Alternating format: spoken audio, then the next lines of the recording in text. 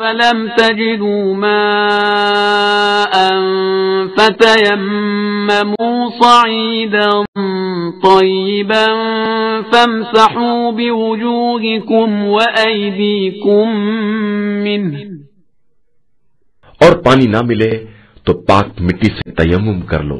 اس طرح کے اپنے چہرے اور ہاتھوں کا مسا کر لو۔ بسم اللہ الرحمن الرحیم الحمد للہ رب العالمین و صلی اللہ علیہ محمد و علیہ الطاہرین موضوع گفتگو تیمم جائز ہونے کے موارد اور ہماری اس گفتگو کا عنوان ہے تیسرا مورد یعنی تیسری وہ جگہ کہ جس کے بعد تیمم واجب ہو جائے گا۔ تیسرا مورد یہ کہ اگر پانی نقصان دہ ہو۔ پانی نقصان دہ سے مراد کسی کی جان کا خطرہ ہو پانی سے یا یہ کہ کسی اہم عضو کے ضائع ہونے کا خطرہ ہو پانی کے استعمال سے۔ مثال کے طور پہ کوئی جلا ہوا ہے یا اس کے زخم ہے اور ایسا زخم ہے کہ جس کے بعد وہ بالکل بھی وضو نہیں کر سکتا۔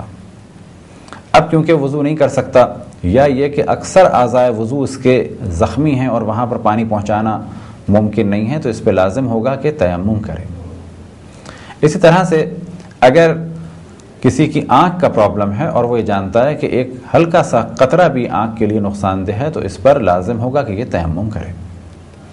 اب یہاں پر ایک خاص موضوع کی جانب توجہ رہے، کیا یہ ضروری ہے کہ ہمیں یقین ہو نقصان کا؟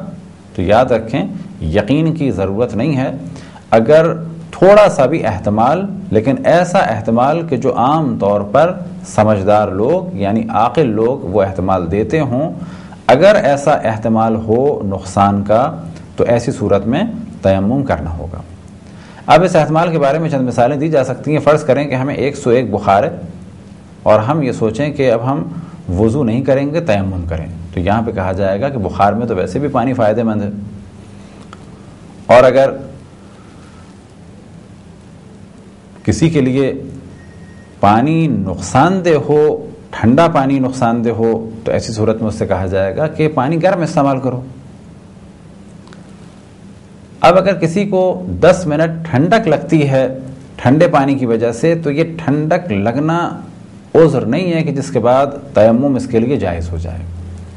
ہاں اگر کسی کے لیے یہ ٹھنڈا پانی جان جانے کے خطرے کا سبب ہے یا اہم ترین ایک نقصان کا سبب ہے اور یہ ایسا نقصان ہے کہ جس کے بارے میں عام طور پر احتمال دیا جا سکتا ہے یعنی عام طور پر لوگوں کا خیال یہ ہے کہ اب وضو کے بعد یہ نقصان ہوگا تو ایسی صورت میں اسے تیمم کرنا ہوگا۔